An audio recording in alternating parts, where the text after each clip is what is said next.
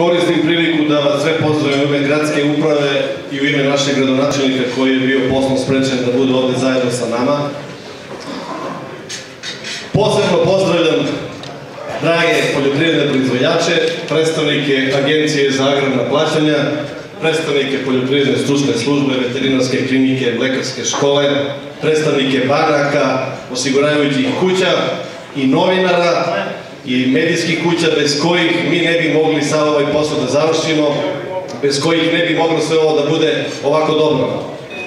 Samo da vas podsjetim, u 2016. godini u Fondu za razvoj poljoprivrede imali smo 50 miliona, od toga je 40 miliona bilo namenjeno vama za subvencije.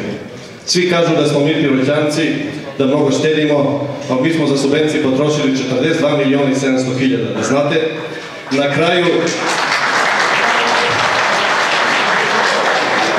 pošto su vaši zahtjevi u toku novembra bili veoma izdašni ulaganja u poljoprivrednu proizvodnju, mi smo morali da obezbedimo sredstva iz tekućih rezervi, tako da su svi poljoprivredni proizvođači koji su konkurisali dobili subvencije na svoje uplatne račune.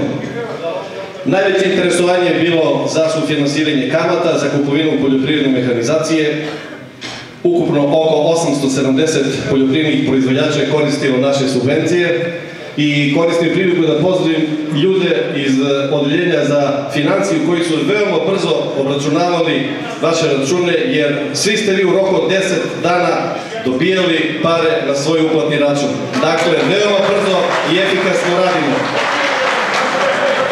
Ove godine je bilo oko 870 korisnika i naravno ja i ljudi iz odeljenja i ljudi smo od gradonačelnika više para i kao što ste već čuli u 2017. godini ćemo imati 58 miliona u Fondu za razvoj poljoprivrede, znači povećali smo ga za nekih skoro 12 ili 15 procenata. Cilj nam je da imamo jednog dana milion evra u ovom fondu.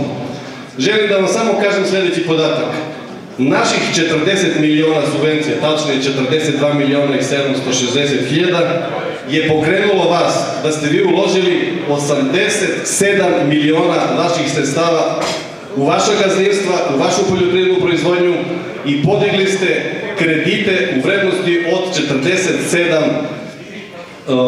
miliona dinara, tako da su ukupna ulaganja grada i vas na godišnjem nivou 123 miliona, znači milion eura.